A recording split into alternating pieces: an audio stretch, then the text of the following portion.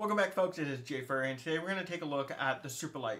We've already reviewed it, we've already looked at a really awesome charging dock for it as well, but there's even more we can do with this mouse and that's going to be adding proper grips and even better feet to it. So let's jump right in. Alright folks, so what you have in front of you is going to be all you need to really make basic improvements on your Superlight. And while it is a $150 mouse, you might feel that there shouldn't be a warrant for any upgrades.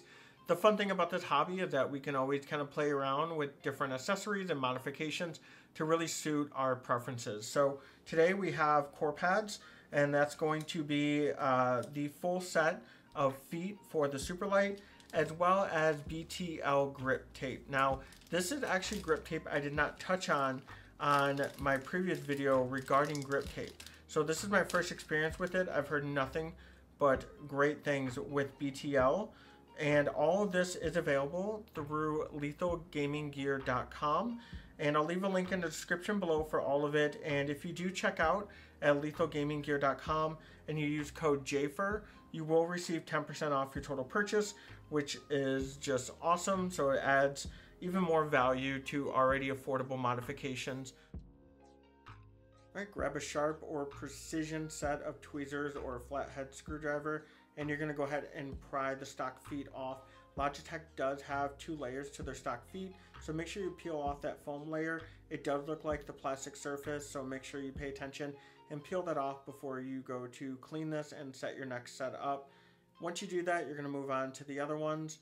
This one's pretty self-explanatory. Now the next one's going to be the sensor. The sensor you want to be extra careful with because that's more of a sensitive area.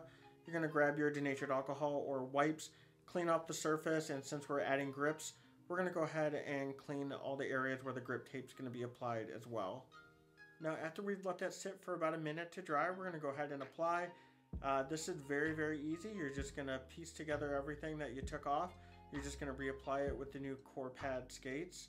And just make sure that you do wash your hands prior to installing to prevent any gunk buildup. And then you're to do the same thing to the sensor. Make sure that is completely flat and you don't want any weird angles coming off of an uneven set of feet. With the grip tape, just line it up from the pre-cuts to the actual line work of the mouse itself. Super self-explanatory. Again, be patient and make sure your hands are clean as you're installing these grip tapes.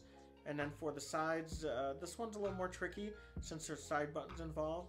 Uh, but you can peel it off and reapply without it damaging or impacting the adhesive side of the grip tape. So just be very patient as you're applying this all around.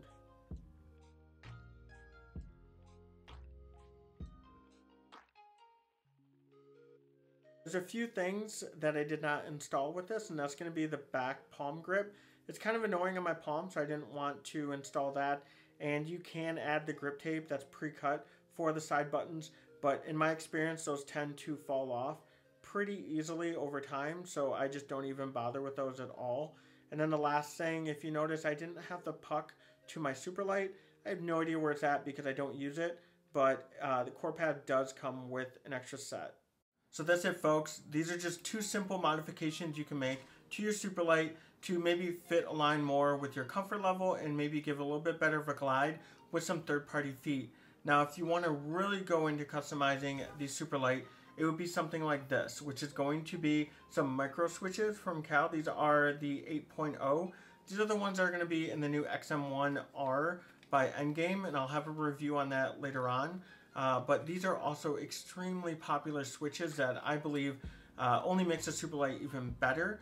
And there is a guy that does do that for you if you're not into soldering yourself, and that's going to be Ents. And I'll leave a link in the description below to his website and Twitter if you want to get in contact with him, if you want to modify your Superlight even further. But other than that, I'm Jaypher. That's going to be it for me. I appreciate you watching the video. Until next time, you stay safe.